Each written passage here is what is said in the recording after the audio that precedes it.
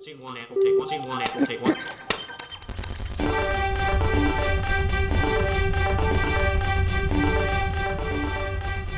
Today at Chatt State was Sean Williams, Hannah Norris, and Stephanie Rodriguez with your local weather. Hello. Sean Williams. And I'm Hannah Norris. Hope you're having a good day. Have you noticed a lot of people are out sick this week? I have noticed. It's been weird. Yeah. Honestly, I think there might be a common cold going around. yeah, I've heard ragweed's pretty bad. It's like pollen-ish, so I don't know. Yeah.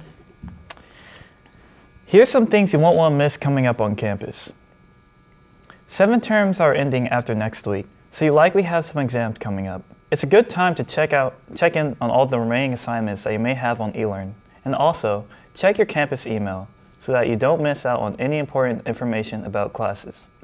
Enjoy the week of October 3rd off for fall break, and then we're right back at it on October 10th. Chattanooga State will host a highly anticipated 7th annual Latin Festival on Saturday, October 1st from 10 p.m.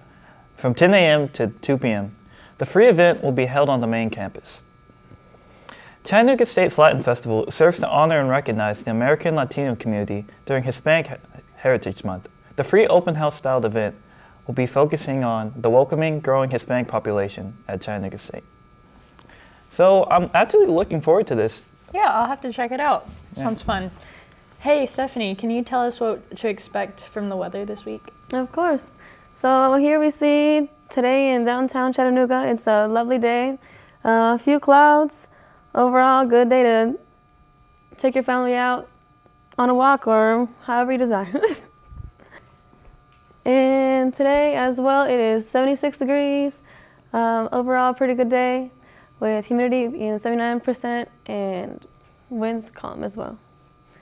Um, Chattanooga being 76 degrees, um, Dalton area 71. We're all in the 70s this week.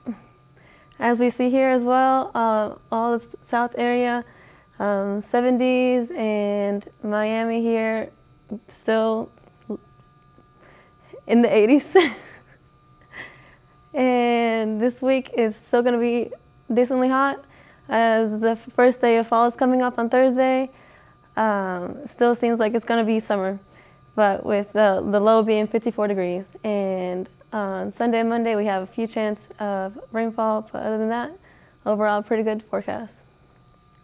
Adnan Syed is a newly out prison uh, after a judge vacated his murder conviction yesterday.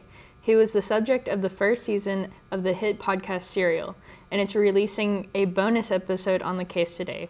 If you haven't heard of the show, you might be wondering what's the big deal. Amy Kiley explains. Global Tel Link prepaid call from Adnan Syed. If you perked up at that music, you're probably a fan of the podcast Serial. If not, you might be wondering why the Adnan Syed case is getting so much attention. We're not yet declaring, not yet declaring Adnan Syed is innocent, but we are declaring that in the interest of fairness and justice, he is entitled to a new trial. Syed was convicted of killing his one time girlfriend Hae Min Lee in 1999. They were in high school at the time. Syed was sentenced to life in prison, but has always maintained he's innocent. Serial's first season left many fans wondering if he'd gotten a fair trial. Baltimore prosecutors investigated, and last week they moved to vacate his conviction. They cited unreliable cell phone tower data used as evidence, advances in DNA testing, and information about other suspects the defense never received. When prosecutors do not do their duty, when they do not disclose evidence as they are supposed to, the result can be that innocent people like Adnan lose decades of their lives for crimes they did not commit. Yesterday, a judge vacated Syed's conviction and released him with an ankle monitor. During that hearing, the victim's brother said this case isn't just a podcast to him. This family is interested in the pursuit of justice. They want to know more than anybody who it was that killed Hae Min Lee. I'm Amy Kiley reporting. Thank you, Amy.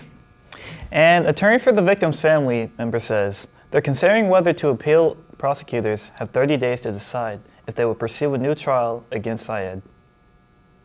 Well, that's it for today at Chattanooga State. Have a great day.